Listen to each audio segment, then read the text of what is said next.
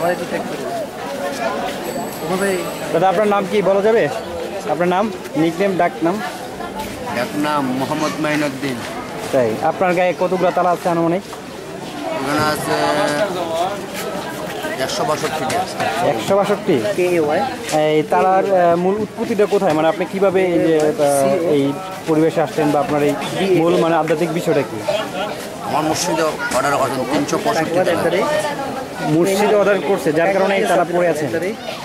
এটার ভিতরে কি মানে কোনো রহস্য লুকিয়ে আছে? মানে কোনো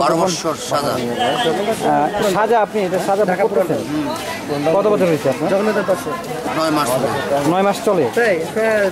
এই অবস্থা এখানেই থাকে নাকি মাঝে মাঝে বাইরে এই মাজার। করতেছেন?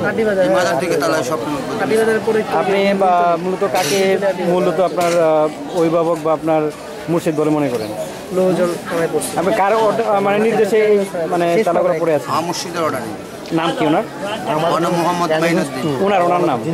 মসজিদের নাম খন্দকার আব্দুল্লাহ উনি কি এখন জীবিত না মৃত? জীবিত। হ্যাঁ? আচ্ছা। এইভাবে বারো বছর থাকবেন? আপনি কি বিবাহিত নাকি অবিবাহিত? বিয়ে করেননি? ইচ্ছা আছে? বিয়ে কি করবেন না? আচ্ছা একটা প্রশ্ন করি আপনাকে।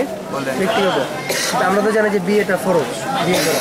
তো সেক্ষেত্রে বিয়ে ছাড়া বরং আলিমের কথা বুঝতে জিনিসটা।